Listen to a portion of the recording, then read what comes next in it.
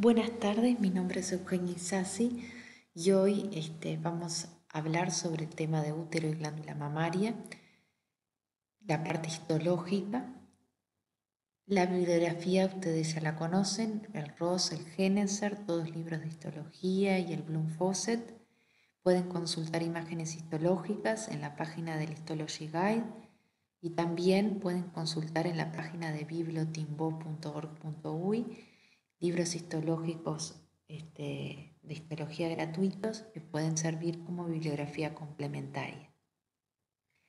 Los objetivos de la clase de hoy van a ser conocer la estructura histológica del útero y de la glándula mamaria, correlacionar la estructura con la función, comprender la estructura y su importancia en el proceso de salud-enfermedad y vamos a ver algunos ejemplos.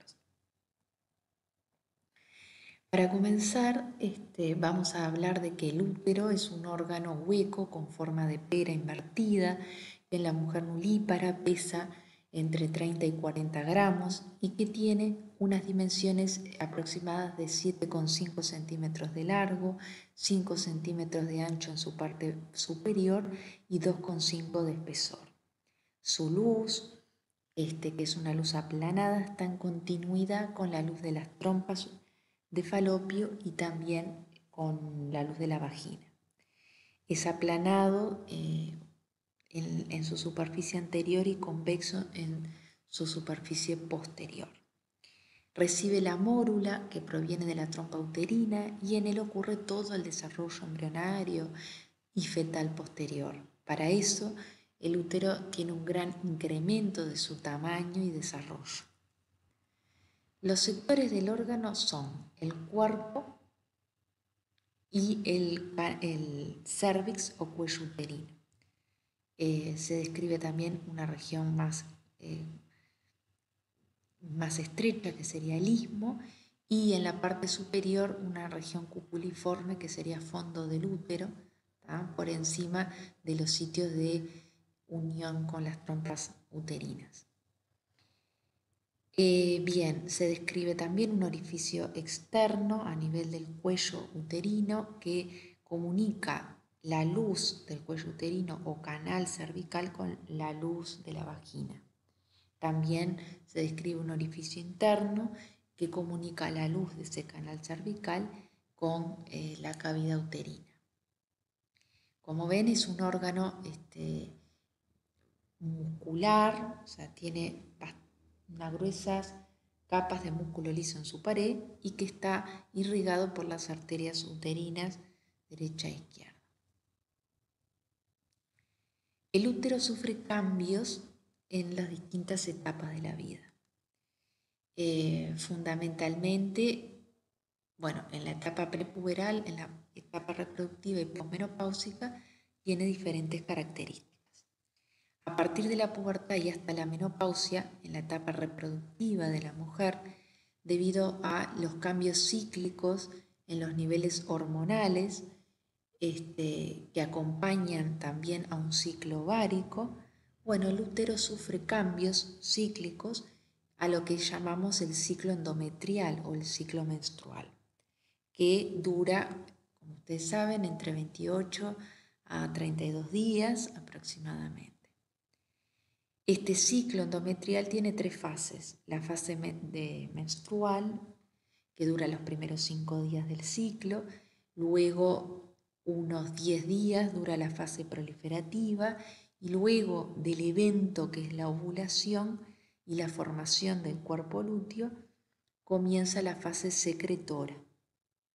Bien, ¿cuál es el objetivo este, de esos cambios que sufre fundamentalmente el endometrio, bueno, es prepararse para albergar a, eh, el blastocisto, eh, a implantar ese embrión en desarrollo en el caso de que ocurra la fecundación. Si no ocurre la fecundación, hay una caída en los niveles de progesterona, porque degenera ese cuerpo lúteo y se desencadena la menstruación. Eh, como vemos acá, el ciclo endometrial acompaña el ciclo ovárico. Entonces vamos a ver que durante la fase folicular del ciclo ovárico, donde van madurando los folículos, va aumentando el estradiol. Y ese aumento de los estrógenos va a hacer eh, que las células eh, epiteliales y estromales este, y también endoteliales del endometrio proliferen. Luego, en la ovulación que ocurre antes, eh, que es antecedido por un pico de LH, de la lutiotrofina, ¿se acuerdan que LH y FSH son producidas por las gonadotropas en la adenohipófisis? Bueno, la ovulación que ocurre, este, y luego de la ovulación se rompe el folículo, se forma el cuerpo lúteo, como ustedes ya vieron en la clase anterior, y ese cuerpo lúteo va a generar un aumento en los niveles de progesterona. Entonces va a ser la progesterona fundamentalmente la que va a actuar sobre la fase secretora, sobre las células epiteliales, generando un mayor desarrollo de las glándulas uterinas, como vamos a ver más adelante. El útero, si hacemos un corte transversal del órgano, vamos a ver las tres capas. El endometrio es la más interna, la capa media es el miometrio y la más externa, que acá se ve poco en este preparado a bajo aumento, es el perimetrio. El perimetrio está formado por un tejido conjuntivo laxo y un mesotelio, un epitelio plano simple, el que recubre sobre todo la superficie posterior del órgano y alguna parte de la superficie anterior. Hay otras partes de la superficie anterior que únicamente tiene adventicia, es decir, tejido conjuntivo laxo. El miometrio, como ven, está muy desarrollado en el útero y en esta imagen también se ve un gran desarrollo del endometrio. El miometrio está formado por células musculares lisas que actúan como un sinsitio funcional. Es decir, que tienen conexiones entre sí, uniones GAP, que les permite actuar sincrónicamente en la contracción para expulsar el contenido de la luz del útero a través del orificio, de un orificio estrecho, a través del cuello del útero y la vagina. Esto es importante, bueno, durante la fase menstrual y ni que hablar durante el parto. Bien, eh, está formado entonces por células musculares lisas y se pueden describir tres capas, la más interna, una media y una externa. La capa interna está formada por fibras musculares lisas que se disponen de manera longitudinal, paralelas al eje mayor del órgano. La capa media se le llama estrato vascular porque está formado por plexos venosos y también tiene arterias arqueadas a este nivel. Tiene fibras musculares en disposición circular o en espiral. La masa externa tiene fibras musculares lisas en disposición longitudinal.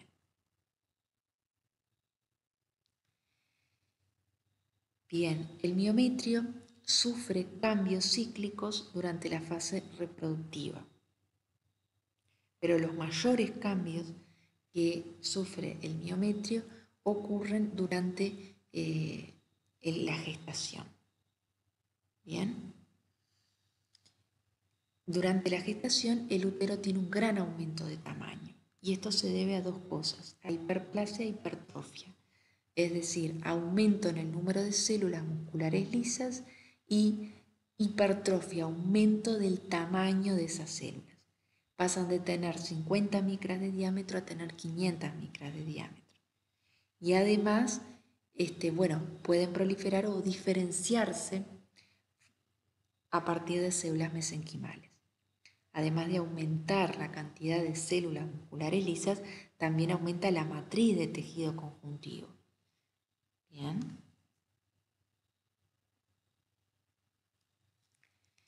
Bien, ahora vamos a hablar un poquito sobre el endometrio. El endometrio es la capa más interna, ¿verdad? reviste la luz del órgano. Es la mucosa del útero. Está formado por un epitelio superficial, que es un epitelio cilíndrico simple, que tiene células ciliadas y células secretoras.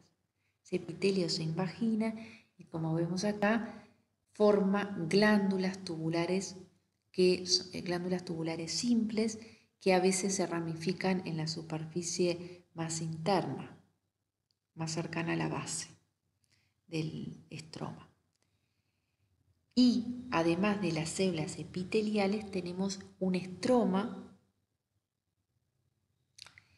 formado por un tejido conjuntivo con abundantes células y muy vascularizado. Bien. Entonces, tenemos el epitelio superficial y todas estas luces que vemos acá, estas luces que son aproximadamente, eh, vamos a decir, rectangulares, ¿ah? y un poco tortuosas eh, son las glándulas endometriales. Acá es una imagen a mayor aumento para ver cómo se ve este epitelio cilíndrico simple las cilias en, eh, como especialización en la superficie apical de estas células y también a nivel de las glándulas y como ver acá un estroma con mucha densidad de células y una red capilar importante.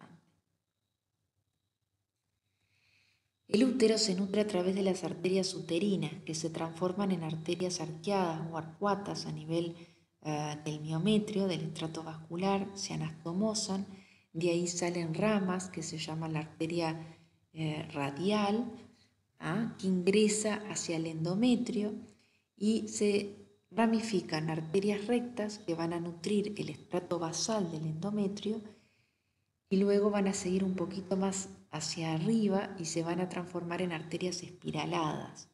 Las arterias espiraladas van a nutrir tanto el estrato basal como el estrato funcional. Esto es porque el endometrio tiene dos estratos. El estrato funcional, que es el que está más cercano a la luz, básicamente es el que se pierde o se desprende en cada ciclo menstrual. El estrato basal sería el tercio inferior, que ese no se pierde y eh, contiene elementos de glándulas y arteria espiralada y arterias rectas que nutren esta región. Las arterias espiraladas a nivel del estrato funcional van a dar origen algunas arteriolas, arterias, arteriolas que van a dar origen a su vez a capilares sanguíneos y a lagunas que son como um, espacios de luz más amplia y pared muy fina, eh, que también van a cumplir la función de nutrición de esta región del estrato funcional. Bien. Muy bien. Como esto dijimos, los cambios, la etapa menstrual proliferativa y secretora, acompañan a los cambios a nivel de eh, los folículos ováricos, la maduración eh, del folículo, la ovulación, la formación del cuerpo lúteo y la degeneración del cuerpo lúteo. Todos estos procesos están regulados a nivel del hipotálamo y de la hipófisis en la hipófisis a través de la liberación de la FSH y de la LH, este, y a nivel del hipotálamo por los factores liberadores de estas hormonas. Bien, acá tenemos una imagen histológica para ver eh, las distintas fases del endometrio, la fase proliferativa, la fase secretora y la fase menstrual. Como ven acá, esta línea punteada daría, este, mostraría la separación entre el estrato funcional, perdón, el estrato funcional y el estrato basal. Bien, entonces acá vemos miometrio con fibras musculares lisas y acá vemos abundante cantidad de vasos sanguíneos, o sea que acá sería el estrato eh, vascular, acá estaría el estrato eh, interno y más hacia acá el estrato externo. Bien, entonces, eh, como ustedes saben o han leído, el endometrio y como hemos hablado, tiene distintos espesores. Puede pasar de 1 a 6 milímetros de espesor. Cuando termina la fase menstrual y comienza la fase proliferativa, tiene un espesor de 1 milímetro aproximadamente. Cuando culmina la fase proliferativa, llega a tener unos 3 milímetros aproximadamente. Y durante la fase secretora aumenta a su máximo de eh, aproximadamente 6 milímetros. Bien. Acá vemos en estos recuadros aumentados las características de ese estrato funcional en las distintas fases. Acá vemos en esta fase vemos el epitelio, que es eh, completo, el epitelio superficial, cilíndrico ciliado, vemos las glándulas y vemos un estroma muy celular. En la fase secretora vemos que estas glándulas se hipertrofian, son más grandes, tienen una luz irregular y un aspecto, una morfología, morfología en sacacorcho.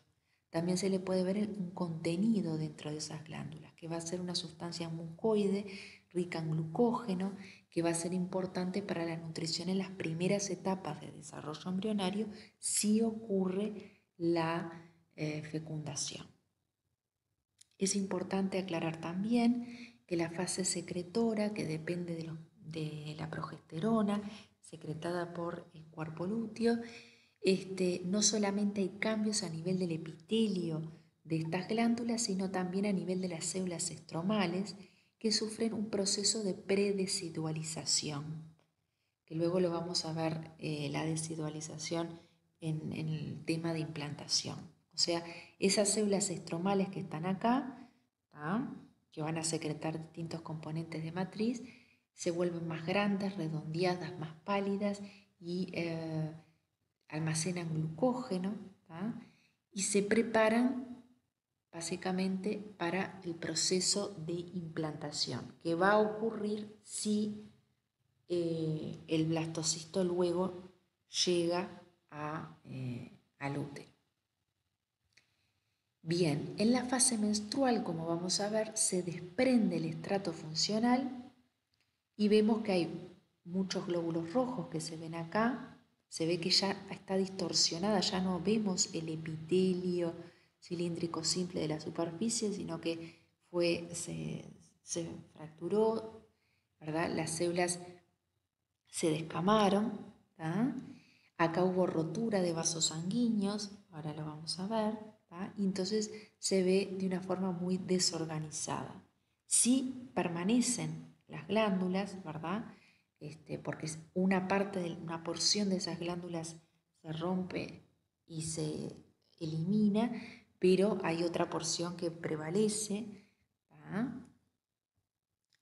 Bien, entonces la fase menstrual, hay que recordar que la menstruación es un fenómeno que ocurre en los primates, ¿ah? y en muy pocas otras especies animales.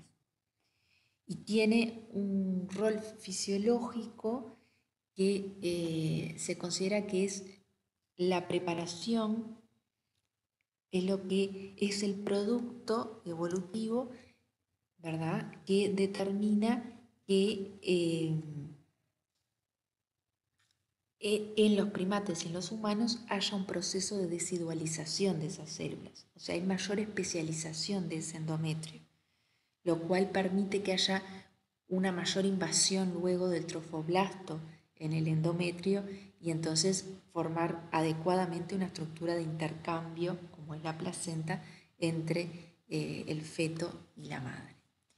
Bueno, entonces, lo único que quería recalcar acá entonces es que los primates y algunas otras muy pocas especies son las que tienen ciclo menstrual, este, tienen menstruación al igual que los humanos. Bueno, eh, en la fase menstrual lo que ocurre es que la arteria espiralada sufre o se contrae, genera hipoxia durante varias horas, este, y esa hipoxia isquemia, o sea, falta de flujo sanguíneo y de oxígeno a nivel del estrato funcional, hace que las células comiencen a morir. Y además se rompen los pequeños capilares, sale este, sangre y hay una gran invasión también de células de leucocitos en este tejido. Bien, pero vamos a ver que la menstruación también es un fenómeno de inflamación autolimitada, como dice acá. ¿Por qué se produce? Bueno, es una respuesta, inicialmente se produce porque hay un descenso de la progesterona y las células estromales del estrato funcional son sensibles a la progesterona. Eh, entonces hay una caída de progesterona, eso hace que se desencadene un aumento de prostaglandinas y citoquinas y que luego haya ingreso de leucocitos hacia el endometrio desde la sangre y se active una cascada de metaloproteasas que van a romper componentes y degradar componentes de matriz extracelular. Como ven acá, en este esquema, hay distintos componentes dentro del estroma del endometrio de eh, leucocitos y macrófagos. Y como en la fase de la menstruación aumenta la cantidad de neutrófilos, ¿verdad? aumenta también la cantidad de macrófagos el tamaño de estos dibujos se corresponde con la abundancia relativa de, cada tipo celular. Y luego en la fase proliferativa baja. Bien. Otro aspecto a considerar es que la menstruación es un proceso dinámico que ocurre de apartes en varias zonas simultáneamente y que hay, podemos encontrar simultáneamente áreas descubiertas eh, áreas en desprendimiento y áreas en regeneración. Acá vemos por este, una esteroscopía cómo luce la superficie del endometrio premenstruación. Acá vemos una microscopía electrónica de barrido donde vemos células ciliadas y otras que no tienen cilias sino que tienen microvellosidades. Y acá vemos un corte histológico en la fase premenstruación, o sea que es la fase secretora, donde vemos aún un gran desarrollo de las glándulas uterinas en forma de sacacorcho. Al día 1 de la menstruación ya vemos fragmentos que se desprenden, vemos sangre, ¿verdad? Em, producto de que se rompen las arterias espiraladas, que se rompieron los capilares sanguíneos. Vemos acá también todas estas irregularidades en la superficie y estos que son em, pedazos, digamos, de glándulas endometriales, ¿verdad? Que se les eh, eliminó la, parte apical, ¿verdad? Y quedaron esos, eh, digamos, tallos de glándulas en esta zona. Bien, eh, la regeneración de este epitelio endometrial se produce a partir de células que quedan ¿verdad? Células epiteliales que quedan en las glándulas remanentes, pero también a partir de células estromales que sufren una transición mesénquima-epitelio. Eso también es interesante. O sea que recalcar acá es un proceso dinámico que ocurre de apartes en varios lugares del, del endometrio simultáneamente y que simultáneamente con el proceso de destrucción se da regeneración. Bueno, el útero. Del útero vamos a hablar ahora del cuello uterino. El cuello uterino es una estructura cilíndrica que tiene una capa muscular menos desarrollada, pero que tiene mayor proporción de tejido conjuntivo con abundantes fibras elásticas. Acá vemos este, un preparado en donde vemos que eh, el cuello uterino tiene una porción que se llama ectocervix, que se proyecta hacia la vagina y que tiene un epitelio estratificado plano. Luego hay otra región, el endocervix, que eh, se continúa con el epitelio de la cavidad uterina, que básicamente eh, es un epitelio cilíndrico simple. Esa transición epitelial es brusca entre el epitelio cilíndrico simple y el epitelio estratificado plano. ¿ah? En la edad fértil esa transición se da por fuera del orificio externo, pero en la, en la etapa posmenopáusica ocurre a nivel de, eh, o sea, puede revestir, puede estar a nivel del endocervix y revestir la cavidad, el canal cervical. Es importante también que el cuello uterino tiene una gran cantidad de glándulas cervicales, ¿ah? tubulares ramificadas, y que son las productoras de moco cervical. Ese moco cervical va a tener distinta consistencia a lo largo del ciclo eh, menstrual o ciclo endometrial. Este, va a ser un moco un pH ácido. Acá vemos que estas glándulas cuando se tapa el orificio de salida y acumulan su producto de secreción se llaman los quistes de Nabot. Bien, bien. Acá vemos la zona de transición, bien, este que hoy mencionábamos. El orificio externo. El moco cervical es un moco espeso que protege contra las infecciones bacterianas. Este, el moco durante en el periodo de la ovulación eh, se secreta 10 veces más cantidad de moco y es un moco menos viscoso y que facilita por sus características composición, este, genera un ambiente más amigable para que esos espermatozoides ingresen y puedan fecundar. Bien, a nivel del cuello uterino se pueden dar zonas de metaplasia, o sea, de transformación de la célula. Metaplasia es cambio de forma. Eh, y en esta zona, que es la parte endocervical, que tendría que haber un epitelio cilíndrico simple, como ven acá, hay una zona metaplásica donde se transformó ese epitelio en un epitelio estratificado plano. Esto puede ocurrir por distintas reacciones, por ejemplo, por infecciones crónicas que generen entonces cambios a nivel del epitelio. El cuello uterino se estudia mediante distintas técnicas, por ejemplo la colposcopía. Esta es una vista eh, vaginal del cuello uterino que permite detectar si hay cambios ah, metaplásicos en, en, las células a nivel del cuello uterino. Si es así, si sufre cierta invasión, esas células se invaden este, todo el cuello o una parte. Bien. Bueno. También, junto con la colposcopía, el Papa Nicolau es una técnica de rutina, ¿verdad? Cada dos o tres años, en donde se toma una muestra de la mucosa de la vagina y también de la mucosa del cuello uterino, se fija ¿verdad? Este, se tiñe con la técnica de Papa Nicolau, con eosina, hematoxilina, con orange G y permite observar un extendido de células y poder diferenciar cambios metaplásicos en esas células. Por ejemplo, estas son células normales con abundante citoplasma y núcleo pignótico y estas son células con un núcleo más grande este, que tienen menor cantidad de citoplasma. Bien, otro estudio que se hace eh, junto con el Papa Nicolau es la detección del virus, del papilomavirus humano.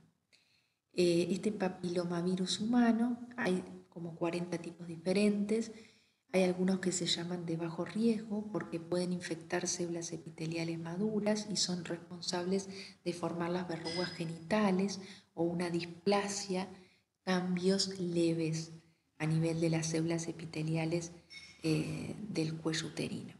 Pero hay otros, sobre todo el 16 y el 18, que están asociados con cánceres de cuello uterino.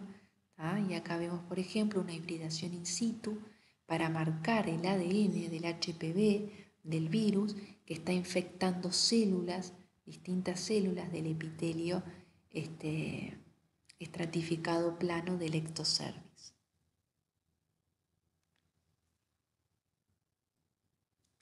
Bien, hasta acá vamos a hablar del útero, ahora eh, nos toca la glándula mamaria. La glándula mamaria tiene una forma aproximadamente cónica, eh, se desarrolla desde la tercera hasta la séptima costilla. Eh, ese vértice del cono está ocupado por la papila mamaria o pezón está rodeado por una areola. ese pezón contiene pequeños orificios de conductos, que son los conductos galactóforos, que llevan el producto de secreción de la glándula mamaria hacia el exterior. Eh,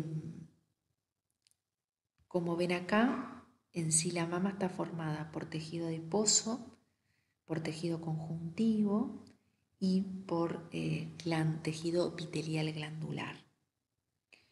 Eh, a su vez hay, como ven acá, ligamentos suspensorios de la mama, los ligamentos de Cooper, son eh, ligamentos fibrosos que permiten anclar, digamos, sostener a la mama este, a nivel de la fascia pectoral, van desde la fascia pectoral hacia la dermis. El desarrollo de la glándula mamaria ocurre tempranamente, entre la cuarta y sexta semana. Eh, este es el caso del desarrollo de mamario en un embriocito de ratón, por, ese, por eso dice E11,5. Inicialmente lo que ocurre es un ah, engrosamiento del ectodermo que forma como estas placodas y forman una cresta mamaria que va desde la región axilar hasta la región inguinal. Este engrosamiento ectodérmico se invagina y va formando un conjunto de, o sea, se va ramificando y formando el sistema de ductos de la glándula mamaria. Esto ocurre gracias a procesos de inducción e interacción con el mesénquima que está subyacente. Acá vemos cómo va evolucionando el sistema de conductos. La, glándula, la glándula tiene una porción conductora y una porción secretora y cómo va evolucionando en el nacimiento y luego en la pubertad y en el embarazo donde sufre su máximo desarrollo.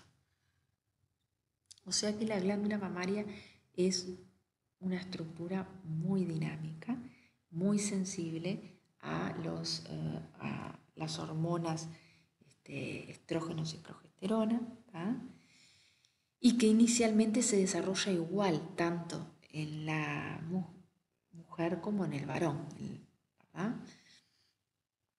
Bien, las crestas mamarias, como dije hoy, si bien son varias estructuras pares, luego las durante el desarrollo se atrofian el resto y únicamente permanecen este, un par de mamas a nivel del tórax. Eh, sin embargo, puede haber polimastia o politelia, o sea, en otras regiones, normalmente este, siguiendo esa cresta mamaria original pero son la excepción. En la pubertad, bajo la acción de estrógenos y progesterona, o sufre, hay una proliferación epitelial y mesenquimal, una en donde la interacción entre el epitelio y mesénquima es muy importante. Por otro lado, la testosterona, que también aumenta en el caso de, los varones, eh, genera lo contrario, actúa a nivel del mesénquima e inhibe el desarrollo epitelial eh, y ductal de eh, esa glándula mamaria.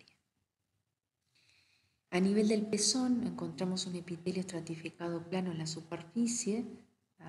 Internamente puede haber fibras musculares lisas a nivel del pezón y de la areola, circulares o circunferenciales o radiales, que lo que va a permitir es la erección de ese pezón frente a determinados estímulos, ¿verdad? va a ser muy útil en, la lactancia. Ese pezón tiene aberturas por donde eh, desembocan estos conductos, los conductos galactóforos. Estos conductos galactóforos tienen un epitelio biestratificado y por fuera tienen eh, tejido conjuntivo y fibras musculares lisas. La glándula mamaria tiene una estructura aparentemente eh, discoide, básicamente, eh, en donde está formado por un sistema de conductos y de eh, alvéolos. Bien, entonces tenemos al conducto galactóforo, a los conductos hay de 15 a 20 lóbulos, cada lóbulo tiene un conducto galactóforo, Esos conductos galactóforos tienen una zona, un ensanchamiento que se le llama seno galactóforo, donde se almacena temporalmente la leche, y luego hay conductos interlobulillares, eh, porque esos lóbulos están formados por lobulillos. Acá vimos que la mama tiene, como dijimos, la areola y el pezón. En la areola también eh, hay un epitelio estratificado plano, es una piel más rugosa que tiene como tubérculos de Morgagni, que son desembocaduras de las glándulas de Montgomery, que producen una secreción que lubrica el pezón.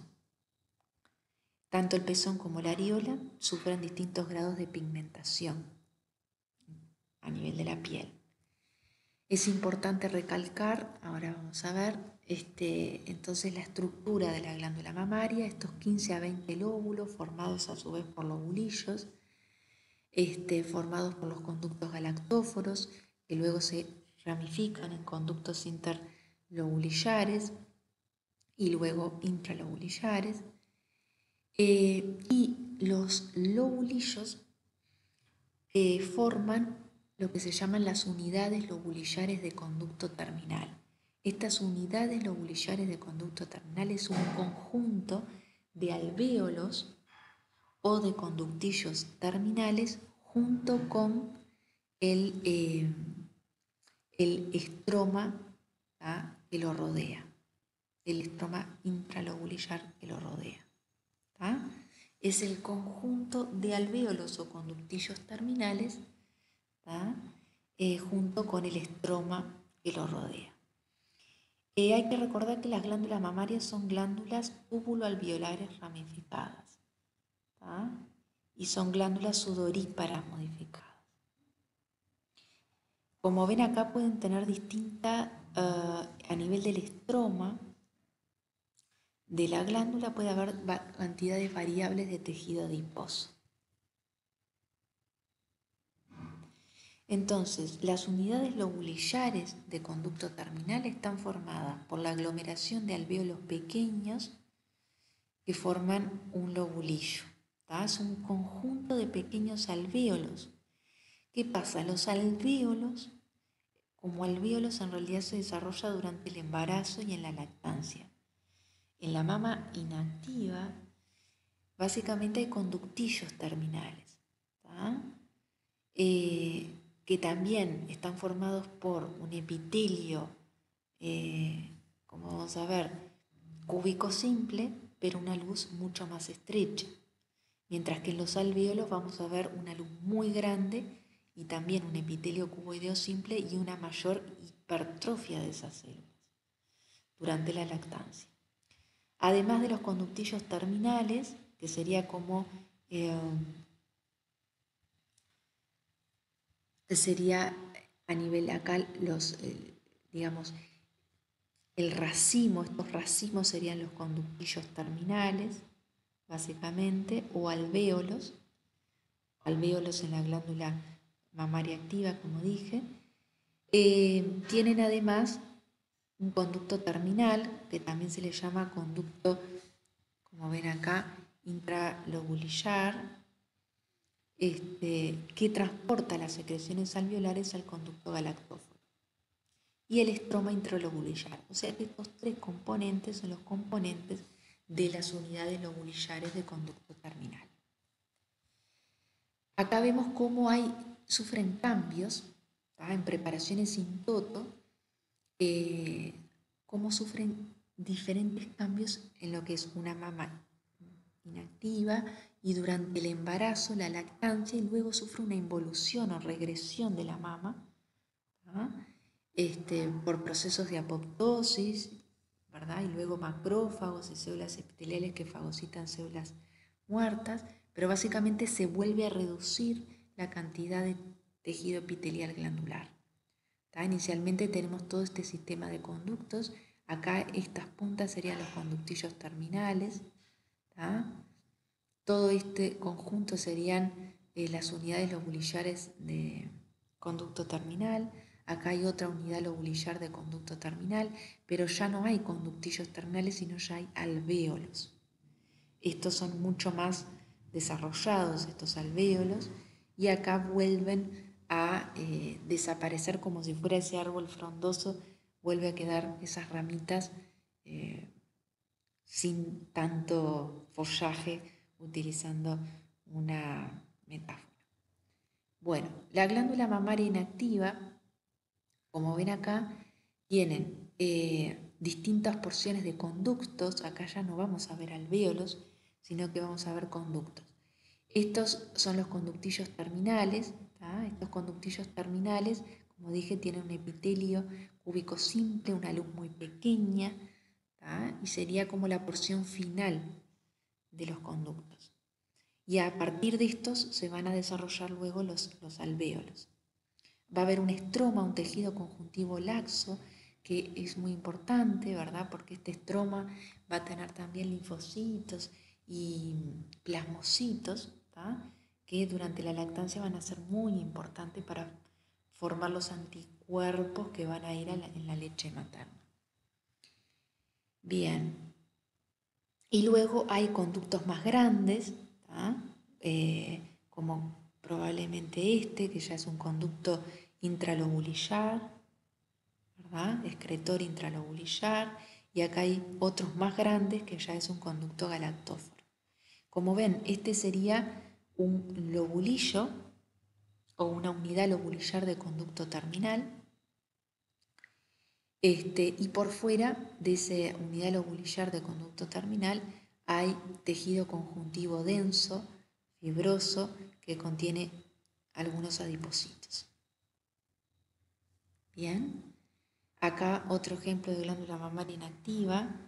Vemos otras unidades lobulillares de conducto terminal y vemos distintos conductos. Estos conductos tienen por fuera, a nivel de, su revestimiento, tienen células miopiteliales, que son células aplanadas, que tienen un núcleo aplanado y un poco más oscuro, que tienen características de células, eh, de, perdón, de células musculares lisas, porque expresan eh, la alfactina de músculo liso y son muy importantes porque cuando se contraen ayudan a la eyección de la leche. Durante el desarrollo de la glándula mamaria es muy importante el estroma y su interacción con el epitelio para el desarrollo, también el tejido adiposo. ¿ah? Eh, el, tejido adiposo también es reservorio de un montón de componentes van, y señales y hormonas que van a actuar en el desarrollo de la glándula mamaria.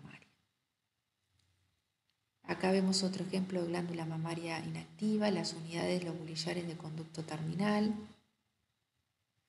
Esta es una eh, mamografía en donde vemos que en una mamá joven hay mayor proporción de eh, tejido epitelial glandular que se ve de coloración más blanquecina, mientras que en una mamá eh, con el proceso de envejecimiento se pierde la cantidad de tejido epitelial glandular, aumenta la cantidad de estroma, se pierde parénquima, aumenta la cantidad de estroma, sobre todo aumenta la cantidad de tejido adiposo, y eso se ve como estos, eh, digamos, más grises en la imagen. La glándula mamaria activa, como ven, tiene una mayor proporción de parénquima y una menor proporción de estroma. El parénquima tiene estas estructuras que son de luz muy amplia, rodeadas por un epitelio cuboideo simple. La luz puede ser circular o en algunos casos más irregular, ¿ah? que son células epiteliales glandulares secretoras. También se les llaman lactocitos. ¿ah? Por fuera van a haber células miopiteliales. Entre la lámina basal y las células epiteliales van a estar las células miopiteliales. Eh, en el tejido conjuntivo denso, inmerso ahí, van a haber conductos de luz muy amplia, que van a ser los conductos galactóforos como este que se ve acá.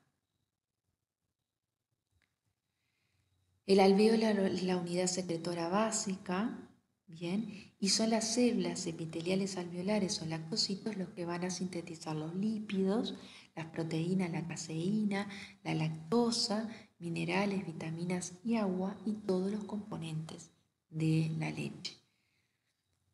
Acá vemos una glándula mamaria activa teñida con verde rápido y osmio, en donde se ven los lípidos de coloración eh, bien oscura, están tanto eh, a nivel de la superficie apical de las células como también a nivel de la luz de los alvéolos. Eh, acá vemos un esquema, vemos que estas células adoptan un gran desarrollo del retículo endoplásmico rugoso porque van a sintetizar un montón de proteínas este, esas proteínas se van a, empaquetar en vesículas que se van a liberar luego por exocitosis. Mientras que los lípidos van a coalescer en el citoplasma, van a tener gran cantidad de triglicéridos, y eso sobre todo en la leche, eh, en la leche más no inicialmente, ¿no? no el calostro, sino ya en la leche más madura, por así decirlo, tiene más contenido lipídico, y este contenido lipídico va a salir por un medio de secreción apócrina, es decir, va a salir perdiendo parte del citoplasma apical y rodeado de membrana. Acá vemos, en esta otra imagen, este es un corte semifino de una micra que lo pueden encontrar en el Histology en donde se ven muy bien las vesículas de secreción este, con esta coloración.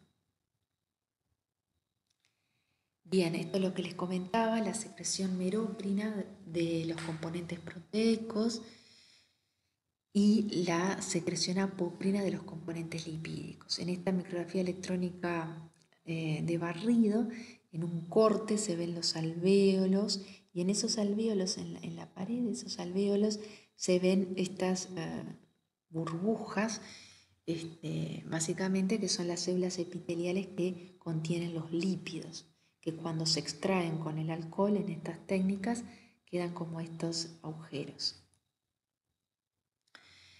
Si viéramos por fuera, por, si no es cortada esos alvéolos, si no se cortan, sino que se ve la superficie de los alvéolos, tienen esta apariencia y se ven las células miopiteliales que son como si fuera el aro de básquetbol, rodeando estas estructuras este, ovoideas que son los acinos o alvéolos. Bien. La pared del galactóforo tiene un epitelio bioestratificado y tiene células basales contráctiles. Acá vemos la luz de los conductos galactóforos. Bien, esta es una eh, tinción fluorescente en donde el GFP la pueden encontrar en el histology, en el libro de histología del ROS. la proteína fluorescente verde está expresada bajo el promotor de la alfa-actina de músculo liso y por lo tanto todo lo verde son células miopiteliales. Y lo rojo también son algunas células miopiteliales que fueron marcadas por una inmunotinción y que se ven en la superficie alveolar, pero están en todas estas regiones, rodeando los conductos y también rodeando los alvéolos. Eh, luego de la menopausia, con la caída en los niveles de progesterona y de estrógenos, ocurre eh, un proceso de involución, básicamente, de generación, disminuye la cantidad de tejido epitelial glandular, aumenta la cantidad de tejido adiposo, disminuye también eh, la cantidad de colágeno y fibras elásticas. Acá es como eh, en esta imagen se ven cambios en función del estado reproductivo. Acá ven antes de la pubertad, luego de la pubertad, durante el primer embarazo segundo embarazo, cómo es la proporción de tejido secretor, tejido ductal o tejido estromal. Esto es en un embrión, en un embrión, en tejido de glándula mamaria de ratón y vemos cómo va cambiando, esto es en preparaciones sin toto, teñidas con carmín, em, a nivel de la etapa reproductiva nulípara, en la mitad de la gestación, en el final de la gestación, en la lactancia, y el correlato a nivel de los cortes histológicos con hematoxilina y osina. Vemos que al final de la lactancia, de la gestación, perdón, se ven células epiteliales glandulares que contienen muchas vesículas en su citoplasma, ¿verdad? Y disminuye la proporción de tejido adiposo y aumenta la proporción de eh, epitelio glandular. Bien, Para mencionar unas poquitas cosas de la patología, en la glándula mamaria eh, puede desarrollarse cáncer eh, y el carcinoma mamario es dentro de los cánceres que afecta a la mujer el más prevalente. Aproximadamente 1.500 ah, mujeres son diagnosticadas cada año en el Uruguay y unas 600 aproximadamente fallecen. Eh, el segundo cáncer más frecuente del aparato reproductor femenino es el cáncer de cuello de útero. Ambos cánceres han aumentado a lo largo del tiempo, han mejorado su eh, su tasa de mortalidad, es decir, hay menos mortalidad eh, con los años de estos dos cánceres, porque además hay un diagnóstico, se busca un diagnóstico más temprano a través de la mamografía y de los estudios de PAPI, colposcopía realizados con frecuencia. Bueno, esto es el cáncer en Uruguay, a pesar de todos los avances que se han tenido, esto es una imagen de, de bueno, sacada del Registro Nacional de Cáncer, este, se ve de que Uruguay aún tiene una tasa bastante elevada de mortalidad en el 2008, en el 2018. Bueno, muchas gracias